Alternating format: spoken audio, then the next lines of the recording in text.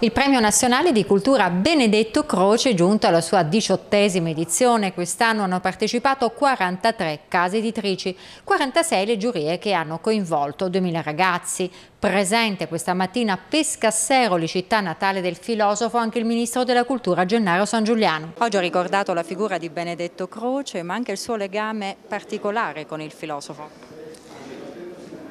Ma io ho sempre ammirato la personalità di Croce che non soltanto è stato eh, uno dei più importanti filosofi italiani del Novecento, un uomo che ha avuto grandi capacità intellettuali, che ha scritto pagine importanti della filosofia, ma è stato anche un intellettuale a tutto tondo, una figura poliedica, che aveva una grande curiosità e che stimolava puntualmente la sua curiosità intellettuale legato a questa terra, legato al mezzogiorno d'Italia, alla mia Napoli dove ha vissuto e quindi un personaggio che noi dobbiamo rivalutare soprattutto agli occhi delle giovani generazioni.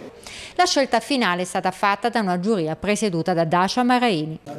È diventata il presidente di giuria, il punto di riferimento del premio Benedetto Croce, ma esiste un fil rouge che lega queste opere vincitrici?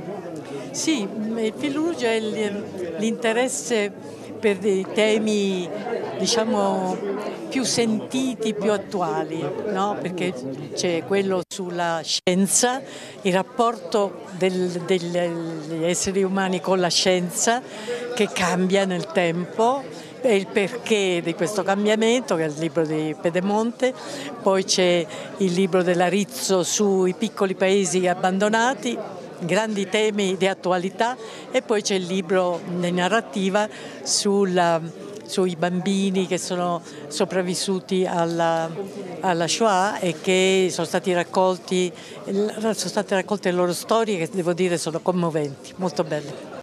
Pasquale D'Alberto, coordinatore del Premio Nazionale Benedetto Croce, ha voluto ricordare anche il premio alla memoria che quest'anno è stato conferito a Eugenio Scalfari, scrittore politico italiano scomparso circa un anno fa e considerato uno dei più grandi giornalisti del XX secolo, legato alla storia del settimanale L'Espresso al quotidiano La Repubblica.